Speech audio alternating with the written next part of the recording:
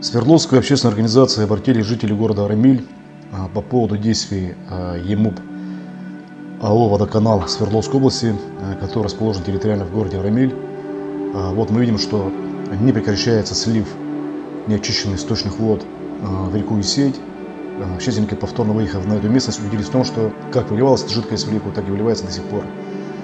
Тот ответ, который был получен из Роспотребнадзора, она никаких эффективных мер не дала, так как, судя по ответу, Роспотребнадзором только было вынесено предостережение о не а, проведении слива.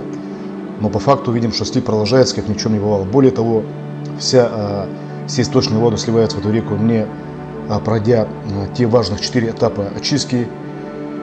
Параллельно обратились жители города Ремиль с вопросом по поводу оказываемых услуг этой компании, то есть те услуги, которые оказываются водоканал, она не оказана в полном объеме.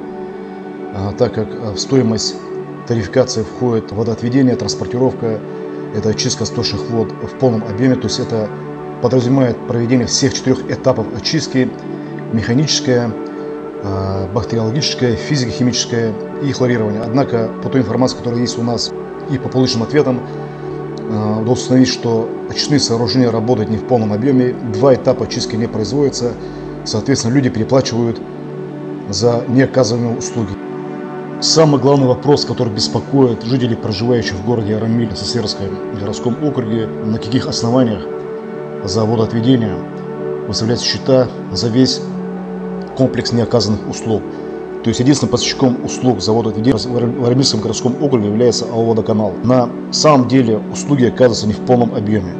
Отсутствует технологический цикл, который предусматривает определенный этап очистки, а это именно бактериологическая очистка э, всех источных вод на технологическом цикле, который протекает э, в этих очистных сооружениях.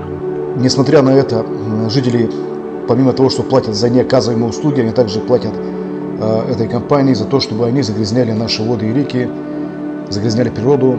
В этот вопрос пока никого не волнует. Сейчас готовим информацию в Роспотребнадзор и в энергетическую комиссию, для того, чтобы выяснить, правильно ли выставлена тарификация, э, не есть ли необходимость проведения перерасчета за оплаченные эти услуги, с чем а также готовим обращение в природоохранную прокуратуру.